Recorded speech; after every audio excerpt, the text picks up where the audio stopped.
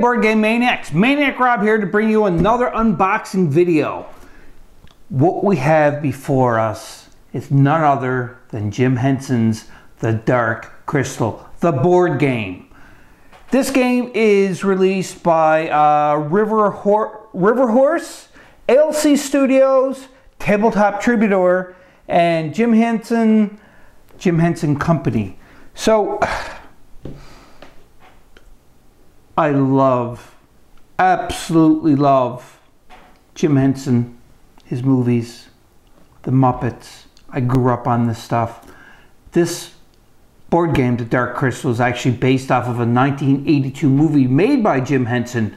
The entire movie has not one human being into it, it's all puppets. I mean, and it's so lifelike and realistic in the fantasy world. It's incredible with the gelflings and the sketchies Sketches, and it just oh, there's so much about this world that's incredible. Now, if I do recall, Labyrinth came out first, and then Jim Henson was like, "Well, let's make a movie with like all puppets into it," and they made The Dark Crystal.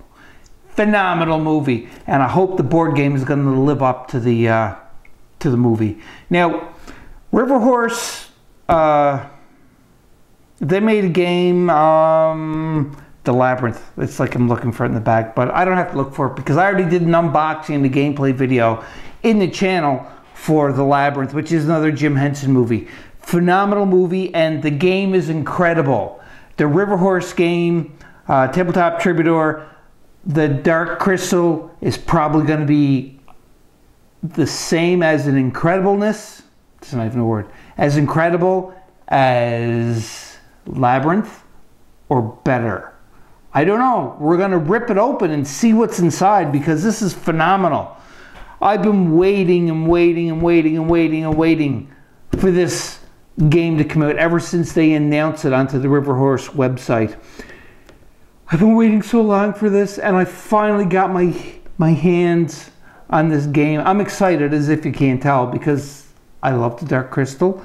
I love The Labyrinth. I love Jim Henson. I'm going to keep just repeating that over and over again. In any case, let's rip this puppy open. See the beautiful dark crystal stuff inside. Maybe we'll find a shard from the dark crystal. Who knows? No, the dark crystal. As always, before we rip open this and see the loveliness inside of it, I really do hope a shard from the dark crystal. Before we rip it, we gotta admire this wonderful, wonderful artwork. Jen, this is one of the sketchies, sketchies, I can't even say it now. Bah! And I can't remember her name. Oh my God, it's Kara, I think it is. Two sketchy miniatures, and you get two Gelfling miniatures. Incredible! River Horse logo. They made the Labyrinth and it was phenomenal. I mean, incredible. Jim Henson's The Dark Crystal board game. Jen and Kara managed to find the shard and heal the Dark Crystal.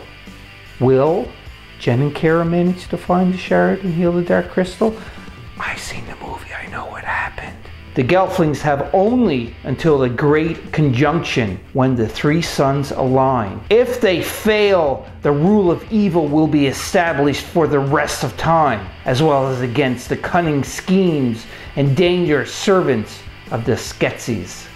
The age range is 14 plus, 2 to 4 players, and it's roughly about 60 minutes. Let's just flip this baby over and rip it open. Oh yeah, come on. I want that shirt. I want that shirt. I want that shirt. Oh, oh, oh. Shirt from the Dark Crystal. Oh yeah. Oh, wait, wait, wait. Plastic. Oh, let's smell the Dark Crystal. Smell of the Dark Crystal. Come on. Ah!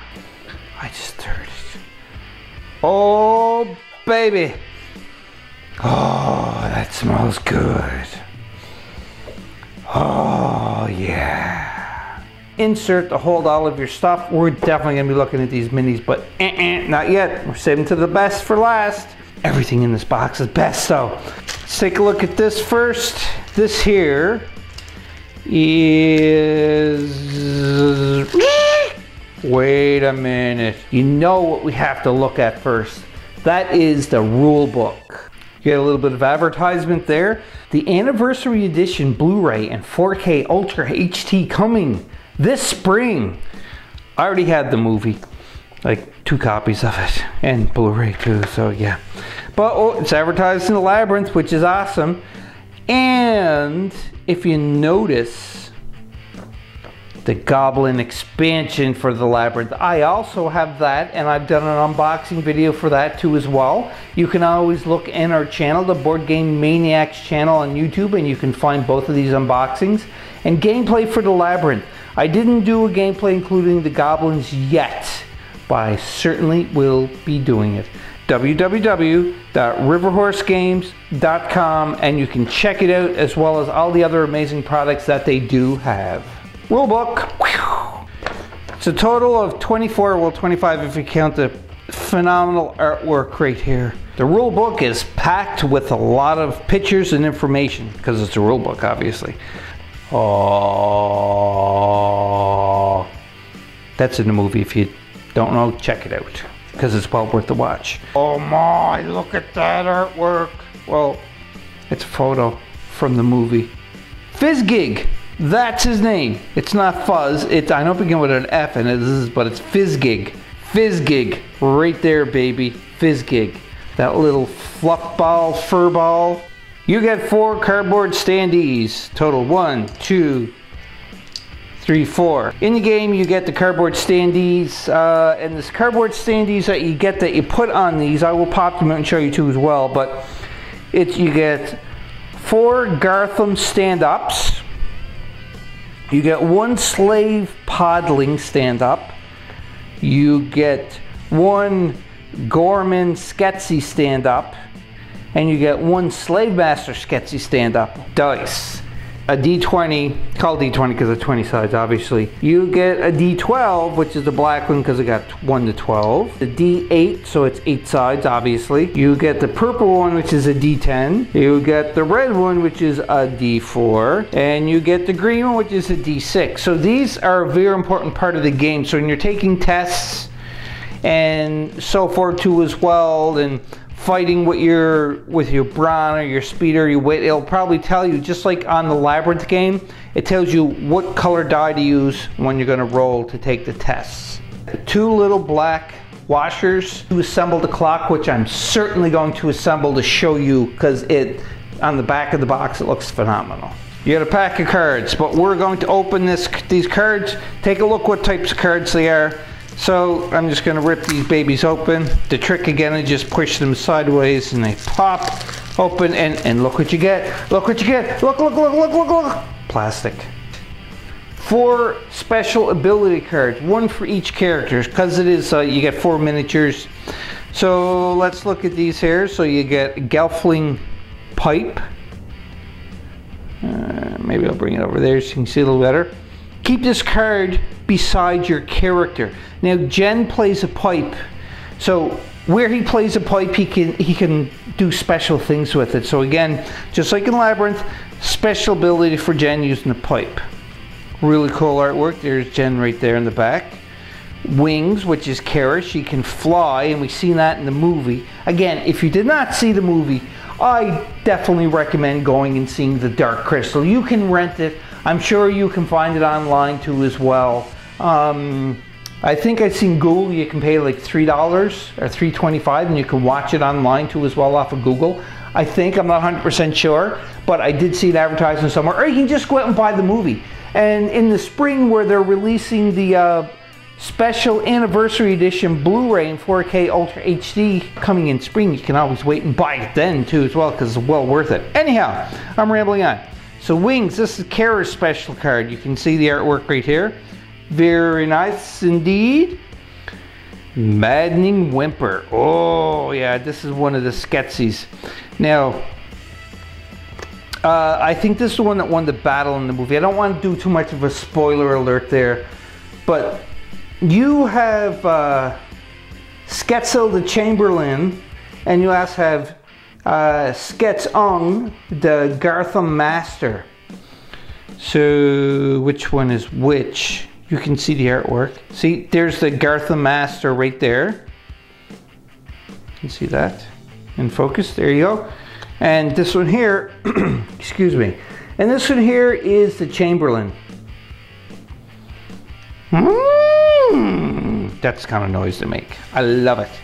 So yeah, that's your four, four specialty character cards that you get. During the game, you move your miniature around the board and when you land on a space that is empty, you obviously have to draw which is called a world card. You get 25 world cards. I'm not going to spoil it too much of what it is, but we'll just take a quick peek at some stuff. And what they do is they will get you to perform certain tests, and if you succeed, you get bonuses. If you fail, some bad things can happen. Next, we have Mystic cards. You get nine of them in total. So the Mystics are just like the Skeksis. They're the oldest onto into this world. Sort of like companions almost, I guess. Oh.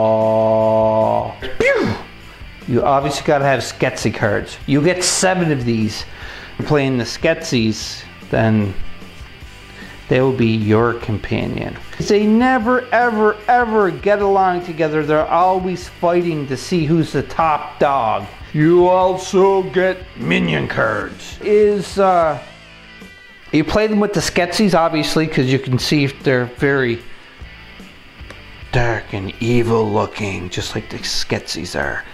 But the way that you guys use what you use these, as far as I can tell, is uh, you can. It's kind of like a, a bonus that you pull one of these, and it can tell you like, hey, there are Gelflings over there I'm going to send something and attack them. So it helps the bad guys. Not together, because obviously they're going to fight. But look, you know, like the crystal bats. Uh, lots of crystal bats. Feed the slaves! Roll a d20. Like, I like how they, like the d4, d20 and everything, they're color coded. So even if you don't know what the, the dice are, like what a d4 is or what have you, it has the color. Say, hey, use the red use the black, use the green. Very nice. So yeah, these are the minion cards. And like I said, when you're playing the Skeksis, you would use these two as well to give them bonuses or cause interference for the Gelflings or other Skeksis too as well. Hey, there are Gelflings over there. I'm gonna send something and attack them. It helps the bad guys. Yeah, Super thick. So when I picked it up, it was like, whoa, there are a lot of cards in here, but they're actually only four. But they're really thick, just like the other ones in Labyrinth too as well. I keep talking about Labyrinth because it is a River Horse game too as well by Jim Henson. And it, it just, the quality in that game is phenomenal and same with this. You guys are just doing yourself even more because the quality is awesome in this. So this is the character card you can see with the green dice. Uh, the green for him is the speed, it's a D6, his wit is a D12, and his brown is D8. During the game, you'll be asked to perform certain tasks or tests, and this is how you determine, even fighting, this is how you determine how you win. And it shows here about willpower, three willpower, and he can, there's another fourth one there. Ooh, Gelfling, you'll die. The Chamberlain right here. This is Sketzel. And you can see the really cool artwork on the back too as well. Skekung, Garthim Master. Speed is the same. His wit is a D8, his wit is a D12. Because the Chamberlain was a lot smarter. He was very conniving in the movie and very sneaky. So, but he was a wimp. That's why he only has a D8 for his brawn. But the Garthim Master, he was really strong. This is the guy who snapped the crystal into in the movie, kind of took over as the boss. D12 for his brawn. You can see the willpower for both are the same. So this is Jen. He is the, the male Gelfling. Speed is a D8, wit is a D10, he's pretty smart, and bronze D4. He's a Gelfling, he's not going to be that strong. He's only a small little guy. Dear Master, I'll find the shard. Look at different willpower. The Skeksis don't have as much willpower as what the Gelflings do. So this is her stats, D8, D8, and D6. Same for willpower. I talk with the flowers and all the living things. Speed's a D8, they're the same. Uh, wit is a D8. The wit of Jen is a D10, a little, a little smarter. Brawn is a D6 for Kara, and Brawn is a D4 for Jen. So Kara's a little smarter, I mean a little stronger, but not as smart as Jen. that is the character card. You get for them. I so hope to come out with expansions because I'm excited already for this game. So this is your turn token to see whose turn it is. So that's Fizz Fizzgig, so you can use him in the game. This is incredible. You get the Emperor token, or the emp one Emperor token. So yeah, that's the Emperor token right there. And this thing right here is one crystal shard token. So this is what the game is all about. The clock, or the turn counter. You get the two of them and you piece them together. So what I'm going to do is I'm going to just put that puppy together by the two little black, the male and female uh, grommets, I guess you can call them. You put one in one hole here and the other and you squeeze them together. And you can see there's a piece here that you pop out so you can see the number. So I'm gonna do that and I'm gonna come back and show you what it looks like. That is Aughra's orrery. So the turn counter. So you can see the numbers here and then you have some fancy, this is the planets when the, the three suns align, then the game is over. So you have to try to uh, restore and heal the dark crystal by putting the shard into it before the three suns align. So you can see here, this is really vibrant color and it looks phenomenal. You ever seen the movie? You can, you'll say that this is very close what it looks like, but three dimensional obviously. So yeah, you can see so 23 turns. That's all you get. So again, it goes around, goes around, goes around. And when you hit 12, look, number 19, there's something going on with 19 because it's purple. I wonder why. So 23, that is the end when you hit 23, or you count down. We'll find out when we play the game. The other tokens you get, you have 24 willpower tokens, which you use during your game to add or take away from your character. But if you lose all of these will tokens during the game, you don't die. You just have to go back to a place just like in the labyrinth and you're going to rest for a turn so that you pick up more willpower. Uh, you also get standees such as these guys right here. Whoa. Didn't get that in focus. There we go. These are Garthim stand-ups and you get four of them. Next, you have these here, which are mindless because they are slaves. They're podling slaves, and their eyes are just kind of blanked out. They're white and yellow, and you know, because they're slaves, they're mindless slaves. You also get this guy here is the uh, Gourmand Sketsy stand up, and this one here is the Slave Master Sketsy stand-up. So you get those two as well. And that is all the icons you get into the game. Just so everybody knows, you get your stand-up, uh, your standy stand, I guess. And you get your stand E and you just fit it together and there you go. See? They hold together nicely and they turn to like a three-dimensional on the game board, which is even better. The Dark Crystal board game. It's pretty big. Like can't even show you all of it. Like that's huge. So this is where you walk around or run around the board. You're gonna put the cards here and you wanna make it to the dark crystal right here. And there's spots that you're gonna have to fight certain uh, creatures along the way before you get to here. Now, as I understand is, uh, wait till I move this down a little bit if I can. So, this is kind of like the center. So if two Sketzies get there, they're going to have to fight to the end. So the Sketzies, like I said, they want power. They're greedy. So they will battle each other if there's two of them in the end here at the last part of the game. But if it's the Gelfling here, it's going to be able to heal the crystal. Heal the crystal, the dark crystal, and bring order back to life. Back to the world, I should say. It is time to see the miniatures. Look. Just look at the detail.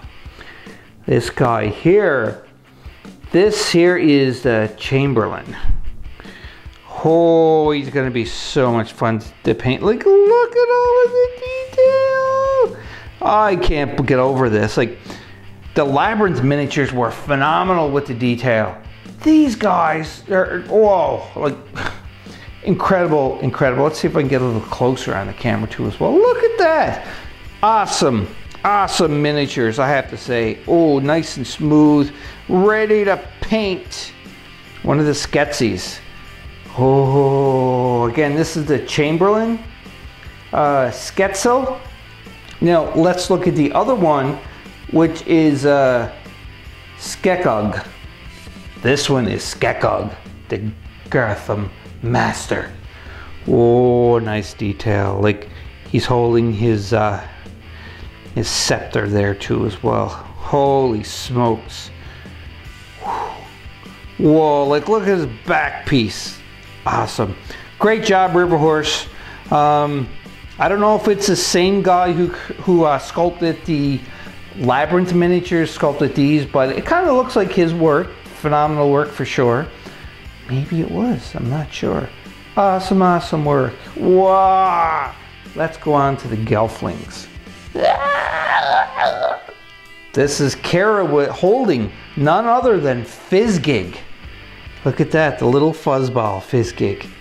She's got her cloak on because in the movie she is wearing her cloak, hiding in the shadows, and so nobody will know that she's a Gelfling because apparently there are only supposed to be one Gelfling alive left. And but that Gelfling Jen found her. So that is the look. Like, oh, I, I again, I don't know what to say about these miniatures because they're great detail too as well. I like the basis Now, the bases are hollow underneath, but they have enough weight to them so they're not gonna, you know, intentionally fall over on the game board. But you can always put some metal or something in the weight down if you wanted to. But because of the base, it's nice to make it look like a wooden base if you want like a chess piece or whatever you want. But really, really great. Let's go on to the last miniature Jen. This is Jen. He is, when the movie starts, you're introduced to him, the Gelfling that you think is the only one until Kara comes into the into the movie. But yeah, there's Jen. He has his uh, his flute, which he uses all the time.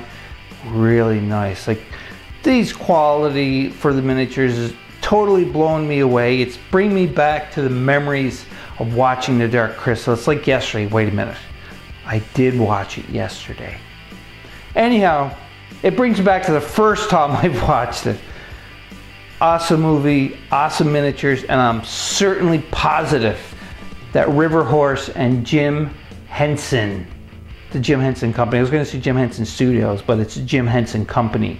I'm sure that is going to be a phenomenal board game, just like the other one, The Labyrinth.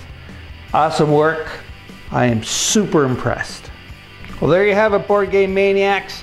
The entire contents of the game, The Dark Crystal by River Horse Games and Jim Henson Company. Oh boy, I am excited. I don't know if I want to paint the miniatures first or play the game like just a test game before I play the miniatures. For the Labyrinth, um, I played the game before I painted them. I think that's what I did. And I may just do the same because I don't know if I can wait that long because I have a lot of the painting projects. In any case, this game looks mint and I cannot wait to play it. I am so excited. Like, look, just another shot of the miniatures. They'll blow you away, the quality. Wham!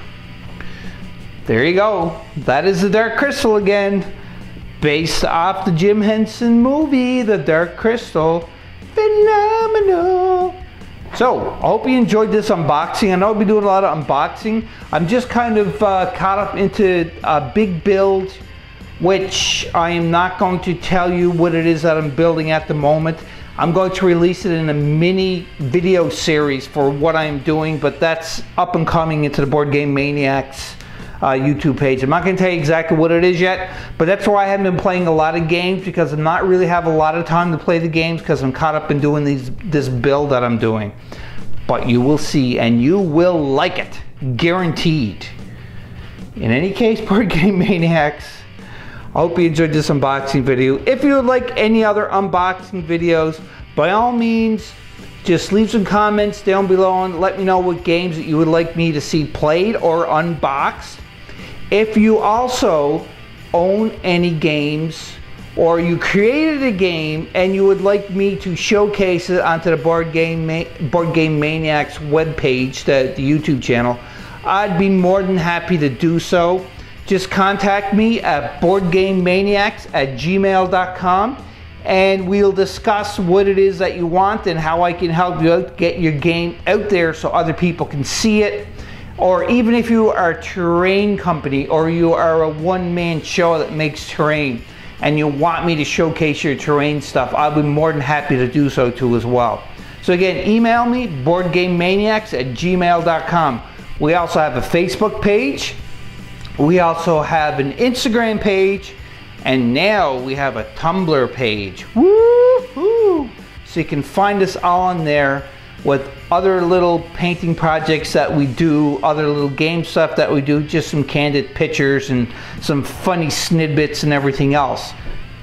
There you go. That's my spiel.